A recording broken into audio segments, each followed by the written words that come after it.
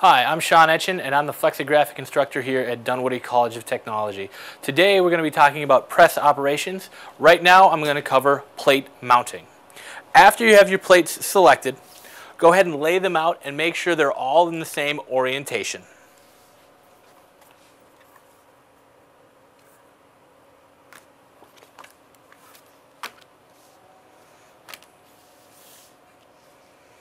After you have them laid out in the correct orientation, mark a simple G for gear side in one of the corners.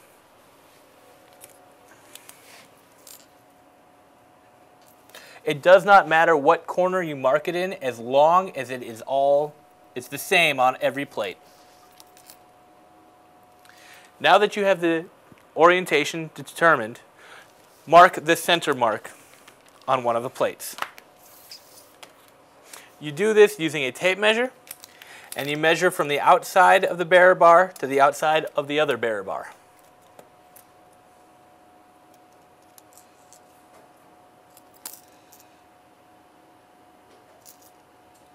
And simply mark the center. Don't worry, use a ballpoint pen and you can write right on the image area, just don't gouge it.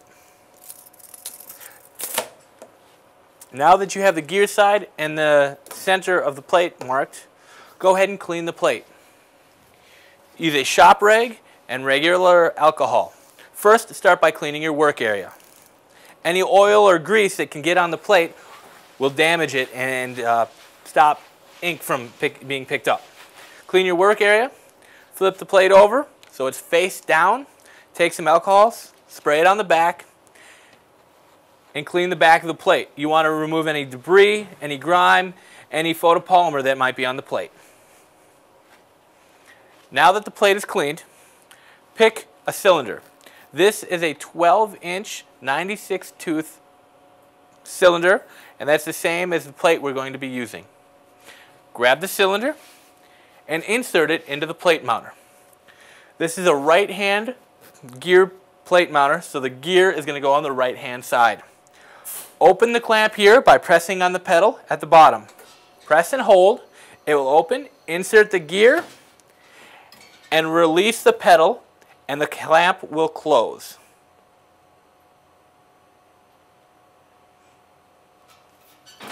Once the plate cylinder is secure, secure, press the plate cylinder lock button right here. This will assure that even if you step on the clamp, the cylinder will not release.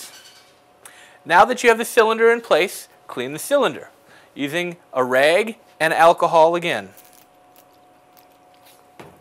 You want to remove any dirt, debris, old ink, anything that might be on the cylinder.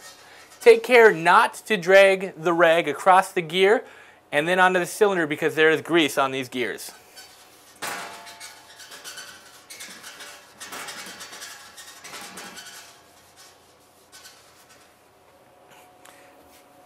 Now that the cylinder is cle clean, we're going to put the sticky back on it. You want to make sure you choose the correct sticky back. There are many different kinds. We have already selected the sticky back that we're going to use, which is a medium cushion for what we're printing today. If you need to change out the sticky back, do it at this time. To place the sticky back on the cylinder, simply rotate the cylinder until the scribe line is facing you. Take part of the sticky back, lift it up about a half an inch above the scribe line, and apply it firmly with your hand. Take a razor, cut that excess off by cutting along the scribe line and removing it. Take it, put it in the trash, and now while turning, apply the sticky back. Make sure to keep the palm of your hand in contact with the cylinder. Do not do this.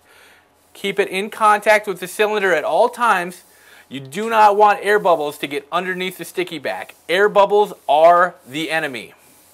Apply the sticky back all the way around. Now that we have lapped back over, take your thumb and push down along the scribe line.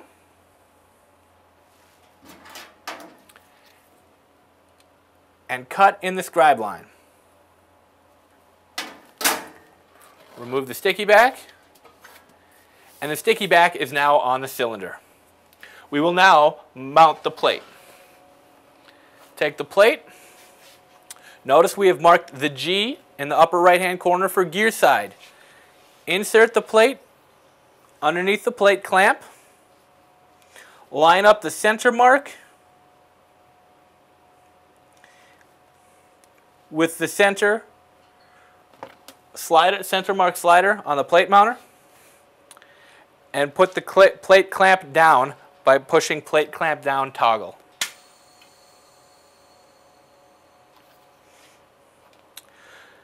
You will want to turn the light switch on at this time as well to aid in the aid you in seeing what's going on.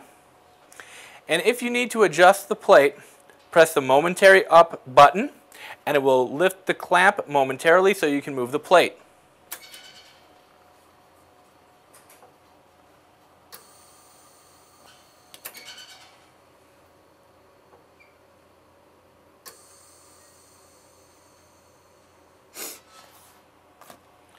Now it's roughly where you need it to be.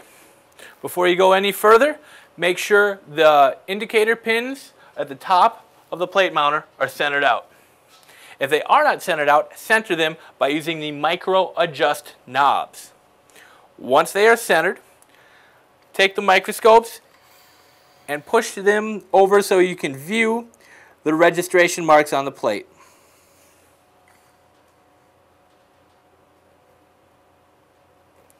Adjust the position of the plate by using the micro adjusts until the registration marks on the plate are in line with the center line on the plate mounter.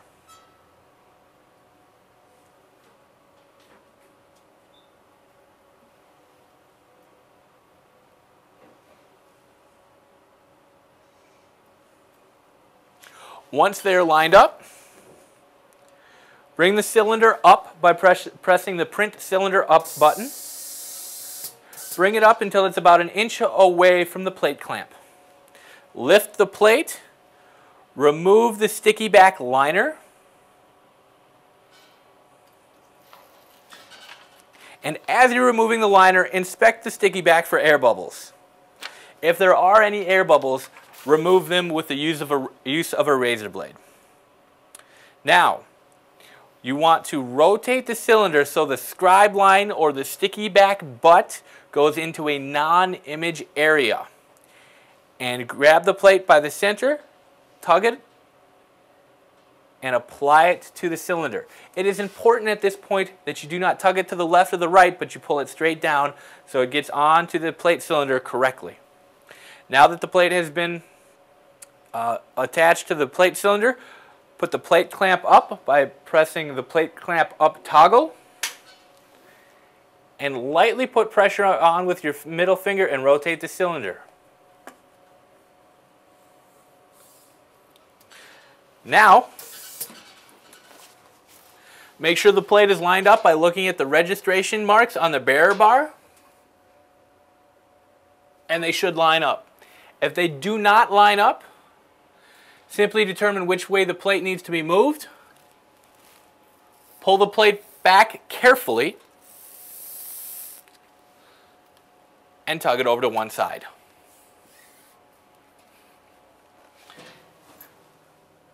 Perfect. It is very important that the plates are mounted perfectly. If they're not, you will have nothing but trouble on press. Now remove any of the excess sticky back you want to leave about a half inch on each side of the plate.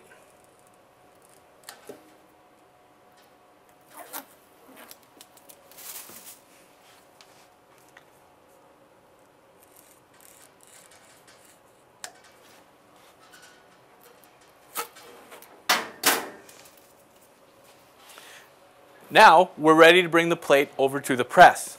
Release the print cylinder lock switch by pressing the print cylinder lock button. Firmly grab the cylinder and press the foot pedal to open up the clamps. Carefully remove the plate and bring it over to the press. Don't forget to turn off the light switch.